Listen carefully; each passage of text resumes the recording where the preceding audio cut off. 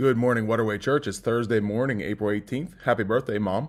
Um, as we keep going through our read through the Bible in a year plan, uh, right now we're in the book of Kings, but we've been reading through 1st and 2nd Samuel. We'll go through 1st and 2nd Kings, and then we'll get through Chronicles, talking about all the uh, royal actions that happen and occur in Israel.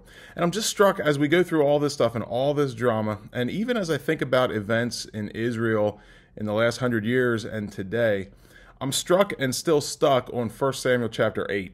This is when Israel asked for a king. They said to Samuel, they said, um, You are old, your sons don't walk in your ways. Now appoint a king to lead us, such as all the other nations have. So God had been their king, and, and in fact, God is still their king. But the people of Israel had called out and said, God, we want to be like everybody else. We don't want you to be our earthly leader. We want some kind of person to be our king.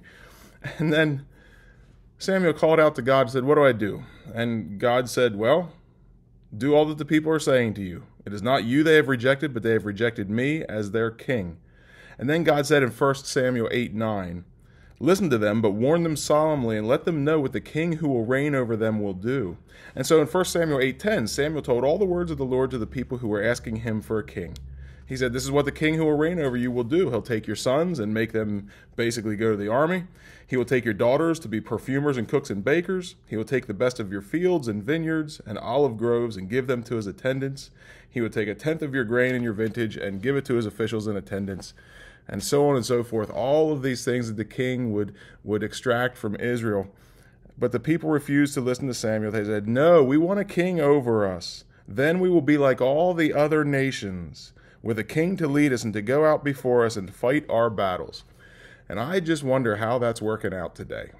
I wonder any time in the last 3,000 years if the Israelites regretted this call, if they said, Boy, we, we wish we would have continued to let God be our king, what would have been different? What might have changed if they had let God be their king instead of just having some earthly person step into the role?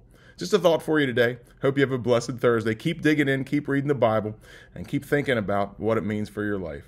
See you, Waterway.